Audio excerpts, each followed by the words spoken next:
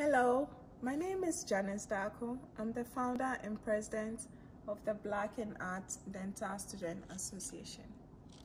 The mission of the BDSA Student Association is to provide a firm and stable policy environment for effective mainstreaming of the African culture into all aspects of University of Utah Dental School life to ensure strong emergence of a vibrant creative art environment at the University of Utah campus, to entertain, inform, and inspire people around the globe and the dental community through the power of unparalleled art, reflecting iconic creative minds and innovative technologies, to bring inspiration, innovation to every dental student faculty, and staff who has a talent for art.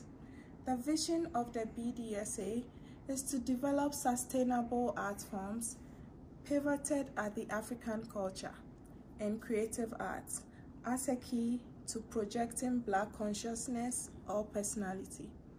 This would develop and sustain a partnership with the African diaspora for resource mobilization and investment and I hope I would be able to include other emerging students, faculty, and staff from the main campus in the near future.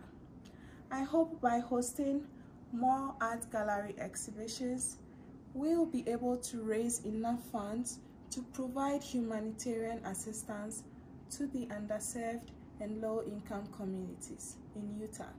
And hopefully, we can expand to serve across United States. Join us in our mission.